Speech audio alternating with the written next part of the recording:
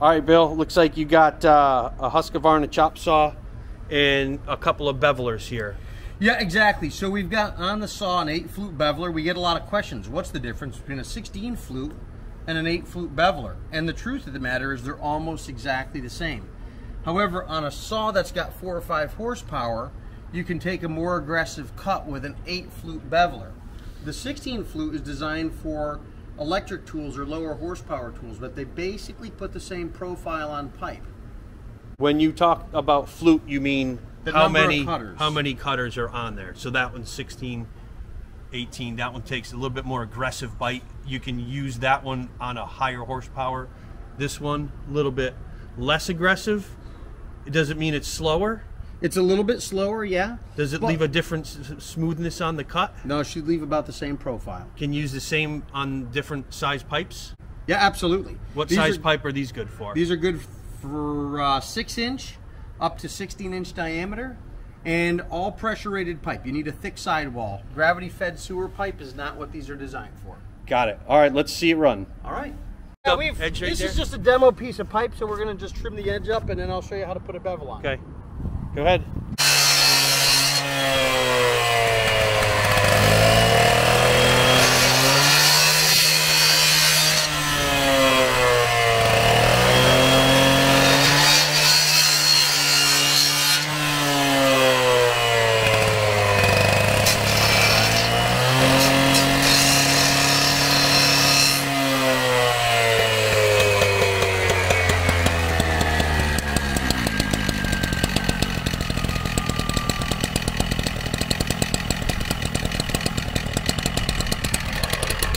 Now we're to cut with that bevel.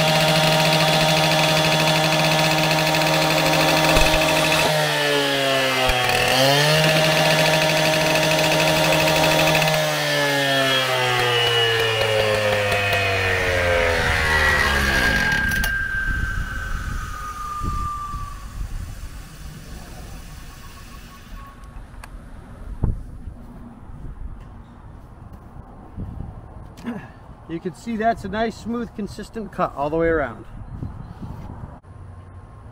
All right, so you got that beveled. Looks nice.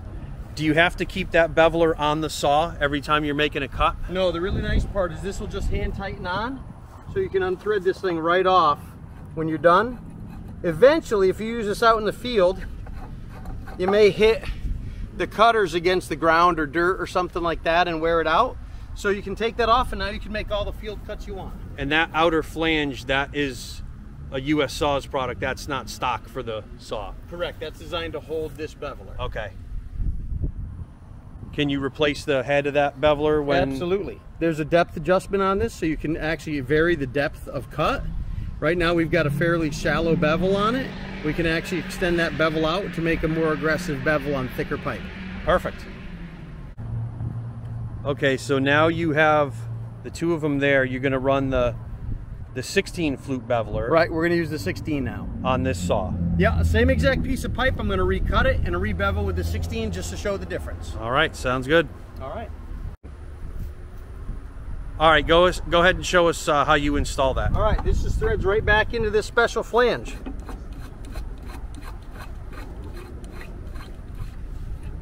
And we use the wrench on the saw to just tighten it up.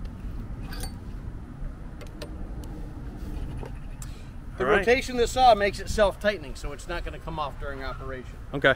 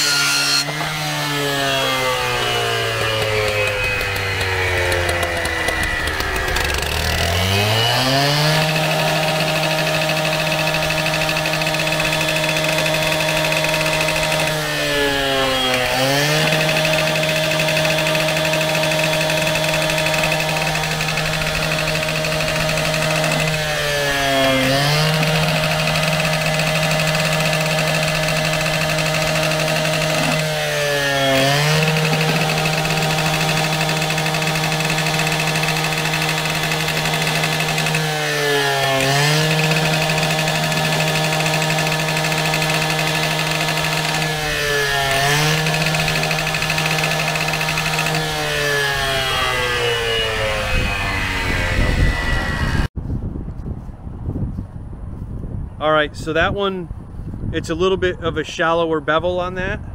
Correct. And these are adjustable, so I can actually reset the depth of that for a more pronounced bevel if I need to. Okay, and that little bearing on the end of it, that's what prevents you from going too much of a be bevel, right? Kind of like a wood router. Exactly right. Prevents it. It rides on the actual body of the pipe so that you don't cut too deep. All right. So this is a small battery powered tool with our universal beveler on it. And this is designed to bevel just like the big saw does, but in a small handheld package. How many flutes does that one have? As you recall, the 16 flute is designed for low horsepower tools, so that's what exactly I've got on. Beautiful. That one does not look adjustable. This is our economy version, so it's got a very basic thread-on design for all 5 8 11 shafts. Okay, so that threads right onto the shaft of the grinder. That's correct. Okay. All right, let's see it work.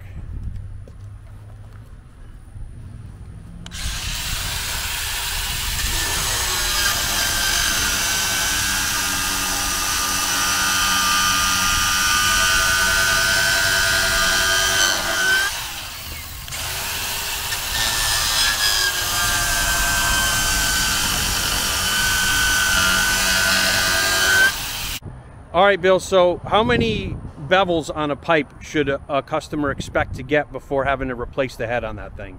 Obviously, a little bit of housekeeping is important. If there's a dirty pipe and there's sand and mud and all that on there, you're going to get a lot less life. Typically, with the 8 flute on a gas saw, we get over 100, and probably close to that with the small 16 flute as well. Kind of cut this one off. That's the 8 flute, this is the 16 flute. Okay. This was set a little shallower, so you can see it's a little bit smaller of a cut. But that 8 flute is, I mean, that is absolutely beautiful right there. That is a perfect cut. And again, the reason for beveling and why it's so important is So you don't tear your gasket when you're pushing uh, pipe into a bell fitting. They've got a rubber gasket in there, and if you snag that gasket, you don't know you've got a leak in it until you lay down a bunch more pipe and actually pressure test it. So keeping good care of that gasket's an important thing. got it. Bill, what is that pipe resting on that is able to make it roll? So this is our set of pipe rollers right here, and it's fantastic for doing field cuts and for field beveling. You can roll the pipe over with a kick of your foot and makes it really easy to handle. Can you pull the pipe out of there and show me what that thing, how it works? Yeah, it's just a nice set of rollers. You lay them on the ground, and it's got nice wheels to hold the pipe. It'll hold up to 16 inch diameter pipe.